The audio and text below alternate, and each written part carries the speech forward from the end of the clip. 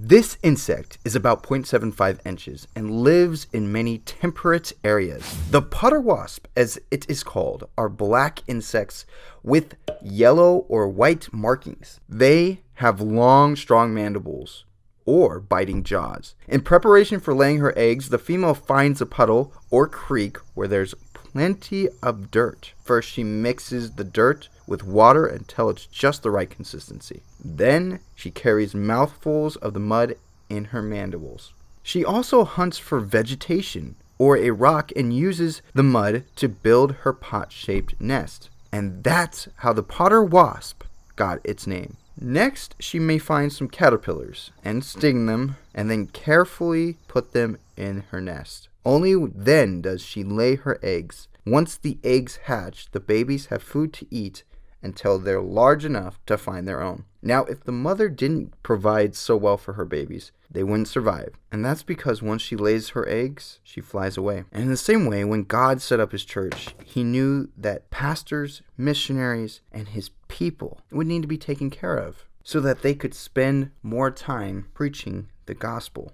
So he said, Bring the whole tithe into the storehouse, that there may be food in my house. Test me in this. Malachi 3:10. Tithe is a tenth of whatever you gain according to the Bible. And actually, everything technically you've earned belongs to God. And God has promised that when you're faithful in returning your tithe to his storehouse, you'll receive a wonderful blessing. Give it a try. Take 10% and say this is God's. I'm going to find a way to give this to God.